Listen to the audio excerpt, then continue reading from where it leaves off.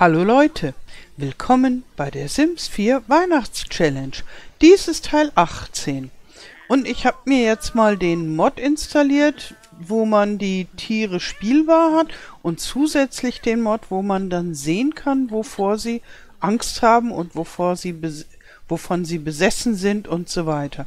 Und jetzt bin ich mal sehr gespannt, ob ich da was sehe. Oh, sie braucht Zuwendung. Okay.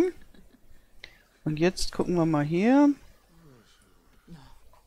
Stands Watch, obsessed with gaming, obsessed with fridge, afraid of the shower, afraid of the microwave. Okay, wir haben keine Mikrowelle, obsessed with the stereo. Ah, das ist wieder obsessed, afraid of the toilet. Okay, dann braucht sie ja nicht in die in die Toilette gehen. Vielleicht Oh, jetzt stehen sie alle gleichzeitig auf. Aha. Naja, ich schätze mal, sie sind ausgeschlafen. Es ist 8 Uhr morgens. Vielleicht fehlt ihr auch einfach nur die Aufmerksamkeit. Obwohl, sie hat ja schon Aufmerksamkeit gekriegt. Es wurde ja immer gefragt, was ist los und so. Hm. Also da sehe ich jetzt eigentlich nicht, was sie so hätte verängstigen können, weil wir haben keine Mikrowelle und die Dusche ist hier oben, da muss sie ja keine Angst haben, wenn sie unten ist. Ja, und wie sieht das mit Renny aus? Hat Angst vorm Schwimmen, unter Angst vorm Feuer, immerhin Angst vorm Herd und auch Angst vor der Dusche. Ja, ich meine, Angst vorm Herd ist natürlich unpraktisch. Der ist nun mal im zentralen großen Raum. Und die Zuwendung ist okay. Tja, und hier, mal gucken. Ah, das sieht man jetzt wieder nicht. Ähm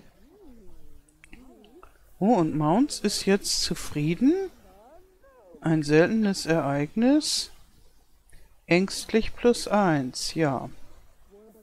Also es hat jetzt irgendwie auch keine tiefen Erkenntnisse gebracht. Außer dass Renny Angst vorm Herd hat, was natürlich sehr unpraktisch ist.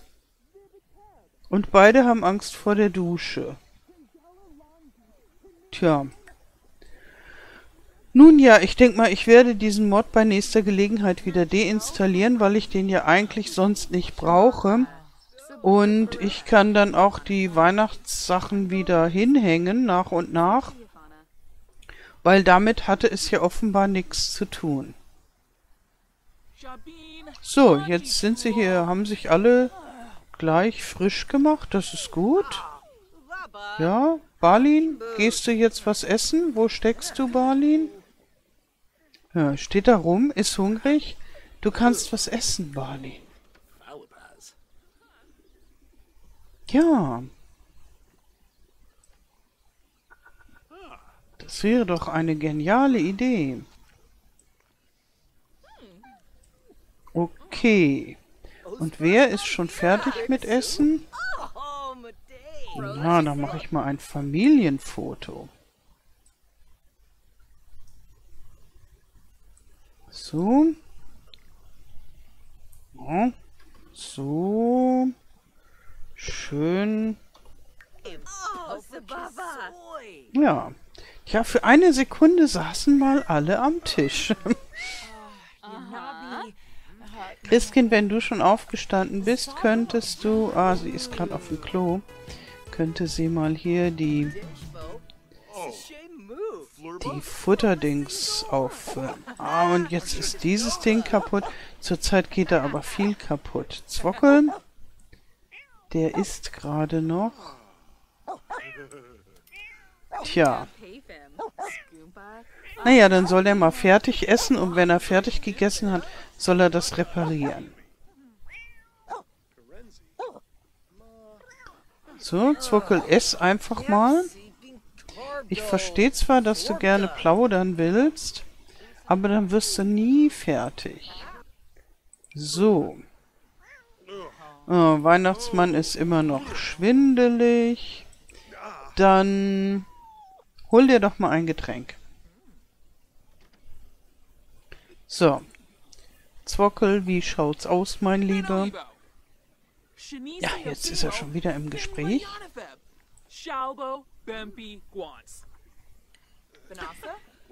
Christkind, du könntest mal was kochen.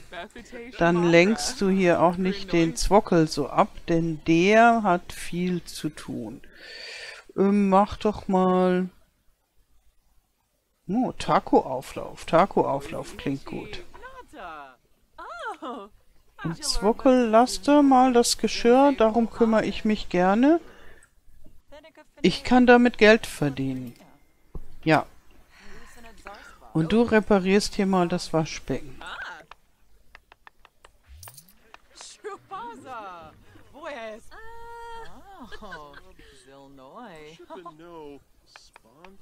So, und Barlin, wie sieht's mit dir aus?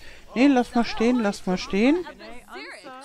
Kümmer dich lieber mal um die Pflanzen. Ja, was geht hier ab? Ah, der Zwockel der muss hier nochmal Teile plündern.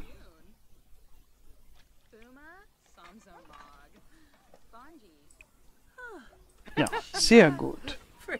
Und wo ist der Haufen hin? Da ist er gelandet. Okay. Dann schmeiße ich das mal weg. So, jetzt kannst du aufs Klo gehen. Eine sehr gute Idee, mein Lieber. Und ich überlege, ob ich mit Weihnachtsmann und Christkind nochmal irgendwo hinfahre. So. Also vielleicht auch mal außerhalb von Brindleton Bay. Einfach noch ein paar Leute kennenlernen. So, zieh dir auf jeden Fall mal deine Weihnachtsklamotte an. Ja, und er ist eigentlich ganz gut beieinander und Christkind auch, dann würde ich sagen, wir schicken noch einmal kurz Mounts los. Und es scheint mir fast so, als könnte ich nichts Wesentliches an dieser merkwürdigen Angstgeschichte ändern. Was ein bisschen schade ist, finde ich. Und ich habe bei den Kommentaren von dem Mod äh, auch zum Teil gelesen, ja, mein, na toll, jetzt ist da gleich jemand beschämt. Was latsche denn da rein, Christkind, du bist doch dämlich. Du hättest klopfen können. Naja, sie ist jetzt so selbstsicher, da macht das bisschen beschämt nicht viel aus. So, also, wir fahren einfach mal los. Irgendwo Schönes hin. Ah, Weihnachtsmann sammelt hier noch eine Feder ein. Ja, mach das mal. Ja, bedank dich mal. Bei dem nicht mehr vorhandenen Tier. Das ist sehr gut. Und die geben wir auch schon mal dem Zwockel. Der Zwockel ist unser Verwalter, der... Äh, und was machst du jetzt mit den Federn? Jetzt gehst du extra nochmal nach Weihnachtsmann. Die hättest du gleich mitnehmen können, wenn du dich schon wortreich bedankst. Sehr gut. Naja. Wie lange ist er denn noch krank? Das ist ja eigentlich nicht okay.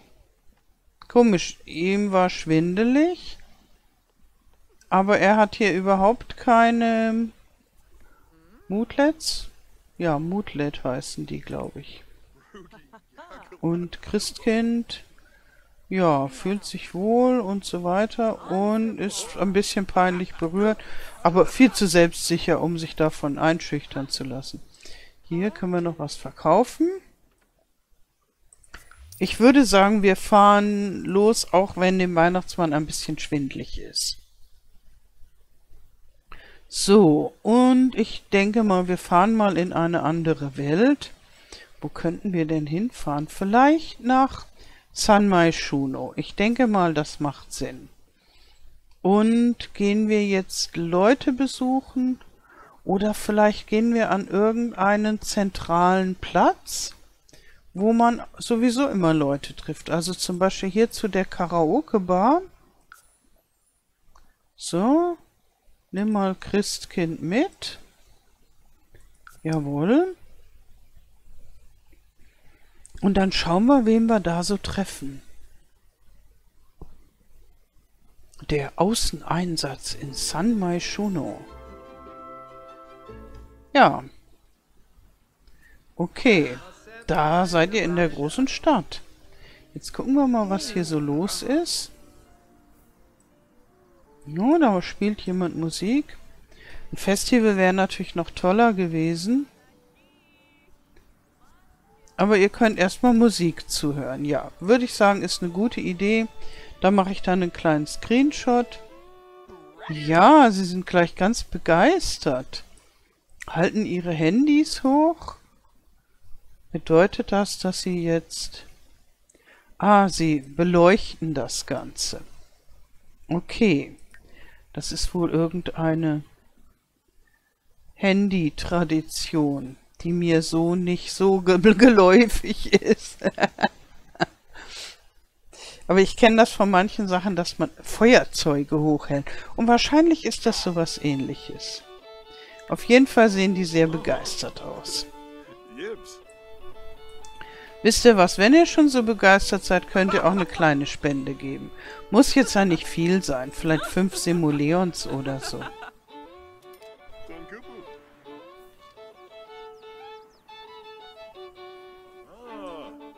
Okay.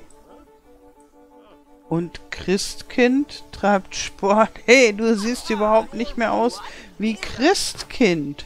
Na, immerhin hat sie ein rosa Outfit.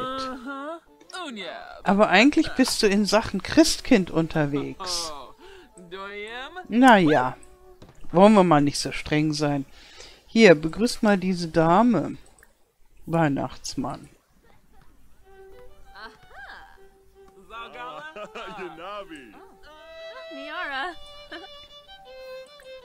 Whoa, Poma. Ja. Bajelja. Stopp. Lauf nicht davon. Ah, die kennt ihr schon. Ja, die war, glaube ich, Verkäuferin ähm, an den Fischstand oder so. Samso, Hey. Er kann ganz passabel geigen, muss man schon sagen. Ah, so, so. Ah, und er hat jetzt auch Level 3 der Charisma-Fähigkeit erreicht, der gute Weihnachtsmann.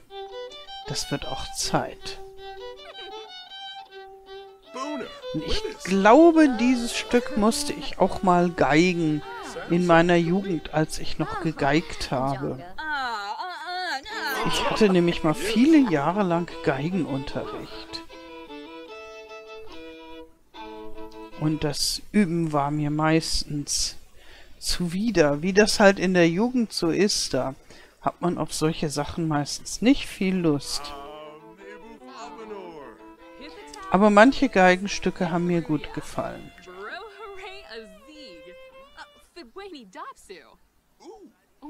So. Und genug gespielt?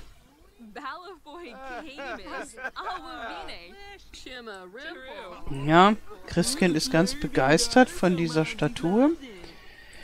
Äh, du könntest dich jetzt erstmal wieder umziehen. In dein Christkind-Outfit. So. Und willst du hier auch mal was spenden? Okay lebendiger Statur zusehen? Ja, mach das ruhig mal.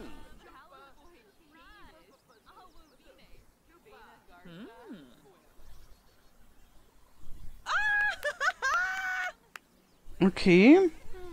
Christkind ist ziemlich begeistert. Bla bla bla bla. bla bla bla.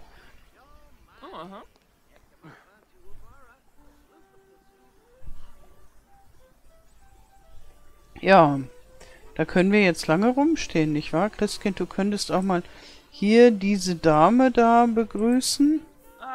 Der Weihnachtsmann hat dich schon kennengelernt. Die verkauft nämlich manchmal auch in Brindleton Bay. Ja, du hast lange genug der lebendigen Statur zugeguckt. Hey, du hast dich bewegt, das habe ich gemerkt. Okay. Mal gucken. Wer ist denn das? Christian Kreuz. Okay. Oh, in der Karaoke-Bar ist Happy Hour. Ah, aber da singen die alle immer so schräg.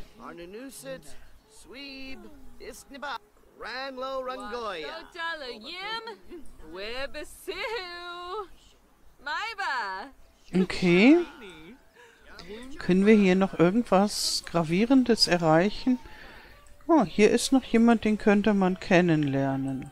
Und Weihnachtsmann. Hey, du siehst gar nicht mehr aus wie der Weihnachtsmann. Oh, yes. Na sowas.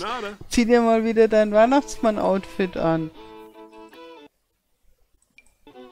Du bist doch hier in beruflicher Mission unterwegs. Jawohl, sehr gut, sehr gut.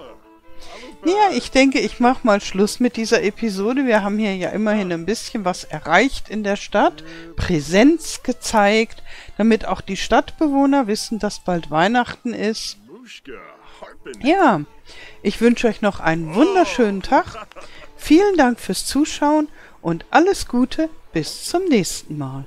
Tschüss.